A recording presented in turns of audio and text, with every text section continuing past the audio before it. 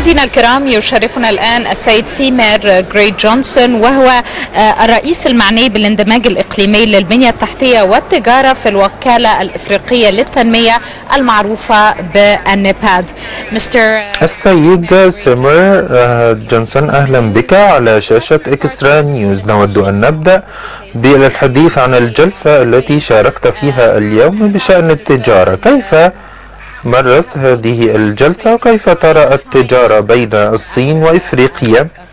كقارة حضرت الجلسة وتحدثنا عن أولويات البنية التحتية الخاصة بالتجارة والدعم المشترك بين الصين وإفريقيا عبر مبادرة الحزام والطريق. خاصة التفكير بطريقتين مختلفتين في إطار المبادرة. أيضا أن يكون هناك مراكز صناعية مدعومة من الصين لجذب الاستثمار والتجارة عالميا وإقليميا وبالتالي من المثير للاهتمام المشاركة في هذه الجلسة التي لم تركز فقط على إفريقيا ولكن على التجارة العالمية وأيضا في وسط آسيا والعلاقة المشتركة بين الإقليمين. كيف ترى أن كل إقليم يسارع من أجل حصته في الكعكة ما هي حصة إفريقيا في التجارة العالمية؟ إفريقيا فيما يتعلق بالتجارة البينية منخفضة جدا من 11 إلى 12% بالنسبة لحصتنا في التجارة العالمية أقل بكثير أعتقد أن التعاون مع الصين بالنسبة لنا لضمان أن هذه الأرقام لا تنخفض أكثر من ذلك ولكن أن تتضاعف وذلك عبر تنمية البنية التحتية ما مدى انخفاض هذه الأرقام؟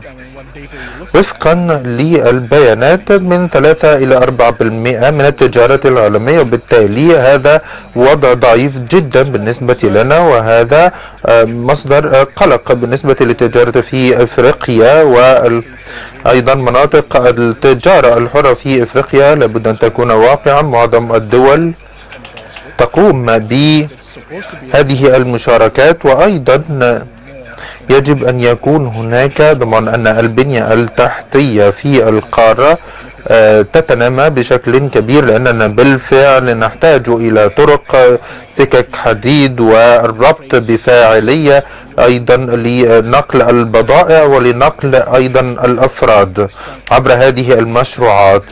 وأيضا الطاقة والنظم تكنولوجيا المعلومات المتطورة. ما هي الدول الرئيسية أو القطاعات الرئيسية في إفريقيا التي تجذب التجارة العالمية التقليدية منها في شمال إفريقيا وفي جنوب إفريقيا وجنوب إفريقيا على وجه التحديد وفي منطقة شرق إفريقيا كينيا إثيوبيا وغرب إفريقيا أيضا نيجيريا. أعتقد أن الفكرة ككل الخاصة بالجلسة هي نقل وتحويل الدول التي ليس لها شواطئ آه، وليس لها ممرات مائية لربطها جيدا عبر هذه المشروعات. للربط مع هذه الدول لابد أن يكون قويا لنقل الأفراد والبضائع. طرق قوية بنية تحتية قوية القطارات السريعة لنقل البضائع. من أهم الموضوعات في الجلسة أيضا أن نفكر مرة أخرى كيف يمكن تحويل هذه الدول إلى دول مترابطة بشكل جيد. ذلك عبر مشروعات البنية التحتية. نعم نحن نعمل على هذه المشروعات مع الصين. هناك برنامج لتنمية البنية التحتية. هناك العديد من المشروعات التي اعتمدتها الصين وخاصة فيما يتعلق بالطاقة والمياه العابرة للحدود والعديد من المشروعات. هل تم اعتمادها أم أنها قيد التنفيذ؟ هي قيد التنفيذ وفي العام المقبل سيكون هذا هو العام الأخير للحزمة الأولى من المشروعات وسوف نبدأ الحزمة الثانية من 2020 إلى 2030 معظم هذه المشروعات عابرة للحدود بطبيعتها. وتم تنفيذها والبيانات بالفعل. تم جمعها وهناك مشروعات كبرى. بالفعل تم تنفيذها. ولكن لا يزال هناك بعض أوجه التراجع فيما يتعلق بتوليد الطاقة ونقلها. لأننا نحتاج إلى البضائع للتجارة. نحتاج إلى الصناعات الخفيفة. نحتاج إلى ربط المدن فيما بينها. نود أن نعرف أكثر عن اللجنة الفنية الخاصة والتي عقدت اجتماعها الأسبوع الماضي في القاهرة ما هي النتائج الرئيسية؟ بالنسبة للجانب الفني نحتاج إلى المشروعات البنية التحتية العابرة للحدود أكثر وأكثر. المناقشات الفنية أشارت إلى أننا نحتاج إلى الاستعداد أفضل إلى هذه المشروعات فيما يتعلق بالطاقة والطرق والمرافق التي تسمح بالإعداد لهذه المشروعات بشكل أفضل. أن يكون هناك تمويل ومتوفر وجذب للتمويل. نريد أيضا أن نضمن بأن هناك تدفق للمشروعات أن يكون هناك عدد من المشروعات متنوعة ليس فقط في مجال النقل ولكن في قطاعات عدة الطاقة النقل وغيرها. نحتاج إلى هذا التدفق وأيضا نحتاج أيضا الاعتماد على الموارد المحلية لتمويل هذه المشروعات لأن هناك أكثر من تريليون متوفرة في الدول الإفريقية يمكن استغلالها.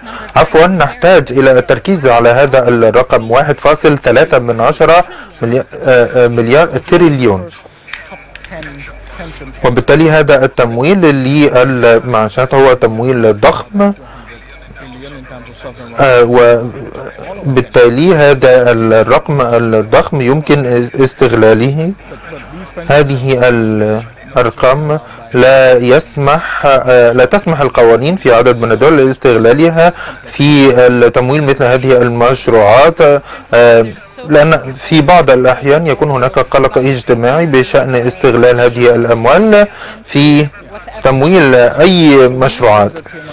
وبالتالي نحاول أن نوفر تدفق لهذه المشروعات يتم إعدادها بشكل جيد وأيضا التعويل على القطاع الخاص والأساس هو الموارد المحلية.